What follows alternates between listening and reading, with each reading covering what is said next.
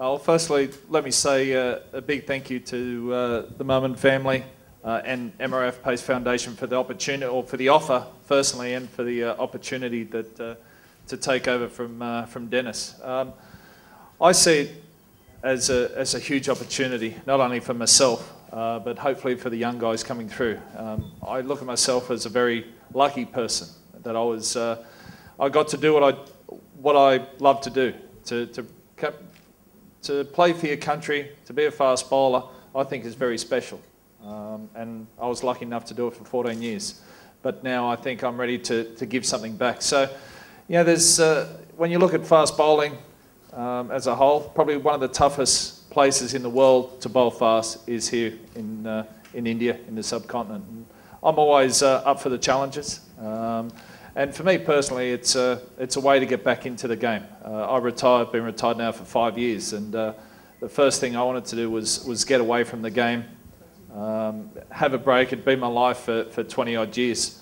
Um, I had a few personal issues at home. My late wife's uh, health wasn't, uh, wasn't that good, two young children, so I wanted to spend a bit of time there. And you know, here we are five years down the track. Uh, unfortunately, my wife, uh, Jane at the time, passed away, my two young children. So we went through a fairly tough time.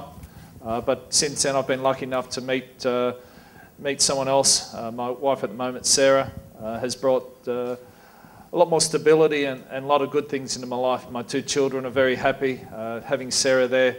Um, as I said, is she's an incredible person, and the stability and the love and everything she's brought back to my life has now allowed me to to say, okay, I'm ready now to, to give a little bit back. So that's why I'm here. Um, I'm looking forward to the challenge. Uh, as I said, India is one of the toughest places in the world to bowl fast, but as a, as a player, I loved coming here.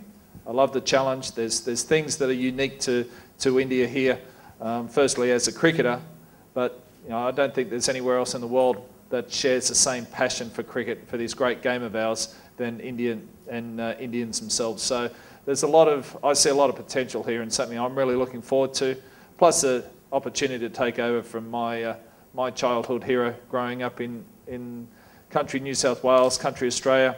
always, uh, Dennis was a guy I looked up to, and I've had the opportunity to work with Dennis and the effect he you know, had on me as a cricketer and a person. Um, you know, for me to be able to take over from Dennis now is, is a huge honour and, and, as I said, a great opportunity as well.